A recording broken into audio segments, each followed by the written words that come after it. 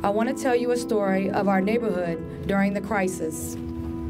On Beach Place, where I live, there are at least 18 foreclosures.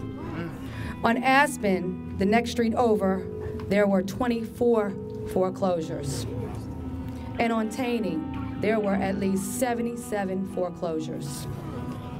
Fully 30% of the homes in Georgetown South went into foreclosure. That's almost 300 homes. No, that's 300 families. That's right. That's right. For 300 families right. that were destroyed. We want change. Now. Modify our loan. Now. Modify our loan. Now. We want change. Now. We want change. Now. Modify our loan. Now. Modify our loan. Now. We want change. Now. We want change. Now. Modify our loan. Now. Modify our loan. Now. Now.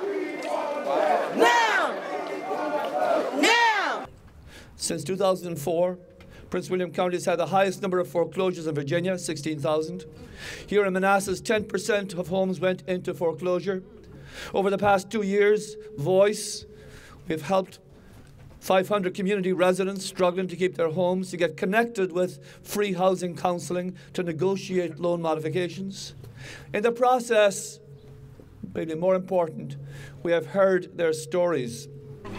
House was owned by Arminda Ramos. It was foreclosed on on March 2nd, 2009. You know what she paid for this house? $224,000. You know what this foreclosure price is listed at? $40,500. $40,500. By the numbers, WMC Mortgage, which is owned by the parent company uh, General Electric and our good friend Jeff Immelt, Jeff Immelt. He is the worst lender in Prince William County.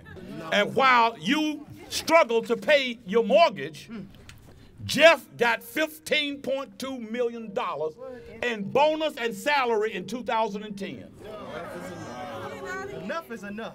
Did you know that GE, which he's the CEO of, reported $5.1 billion in profit in 2010 and paid no federal taxes?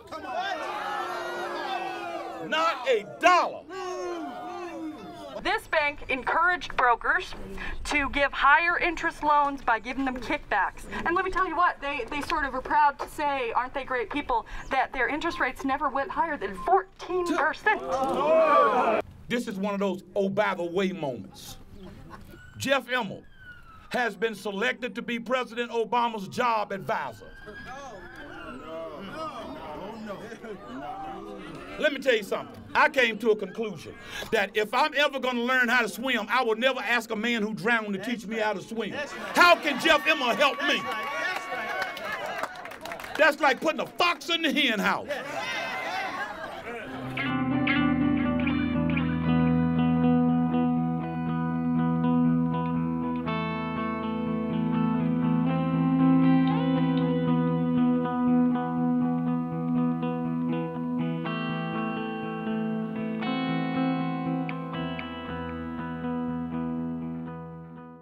Over the course of almost three years in the loan modification process, I lost everything anyway because they modified my loan the first time higher payments than what I already had. That is an atrocity. That is not what the loan modification right. program was designed to do. That's right. I'm in pain. Yes. Yes. All what I ask is that the bank give me the modification plan they offer me and they gave me before. I'm not asking that they give me free my house. I want to pay it.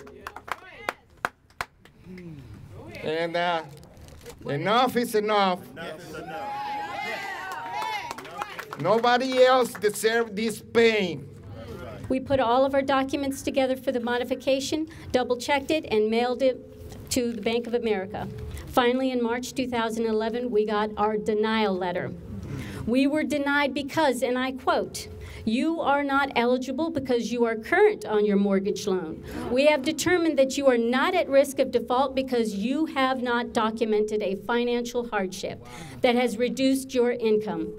Our family has lost 73% per year in income. This is not a financial hardship. I don't know what is. We don't have TV, we don't go out to eat, we don't drive as much. We're deferring our son's college expenses. We are borrowing from family members to keep Cobra going. But at $816 a month, we are considering dropping our health insurance so we can afford the mortgage and still put food on the table. And this is not a financial hardship. Hmm. Our tax dollars rescued these banks. We bailed them out. That's right. That's right. The CEO of the Bank of America, Brian Moynihan, received a $10 million bonus last year. I just want a fraction of that. I want my loan modification. But he isn't able to modify our loan. Hmm. Now, when my family needs a little help because of the bad economy that the banks helped create, they are nowhere to be hmm. found. Hmm. It's time they recognize that this is a broken system and it needs to be fixed for my family and for other people across Northern Virginia. Thank you for letting me share. This home, which was foreclosed upon nine months ago, has the distinction that the bank is playing a little trick right here. The bank has not formally taken ownership of this home. And you know what that means for Mr. Barrios and his family? That means that they are still responsible for paying all of the homeowners' fees and all the taxes on this house, even though they were kicked out nine months ago. It is a dirty trick that the banks play so that they can squeeze one more drop of money out of this family and out of this community and out of us. So what's the conclusion to this?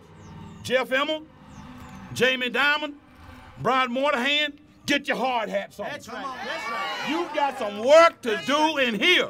You need to end the predatory lending nightmare. You need to keep these families in their homes. You need to reform the mortgage modification process. You need to reinvest and rebuild Georgetown South, Forestdale, Williamstown, Iron Gates, and God knows you need to modify some loans. WMC, Bank of America, JP Morgan Chase.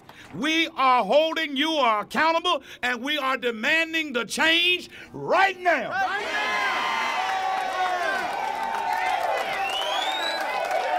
Justice, justice, justice, justice, justice, justice, justice, justice. That's what we want. We want justice. We want justice from these banks, from these CEOs. That's what we want. change.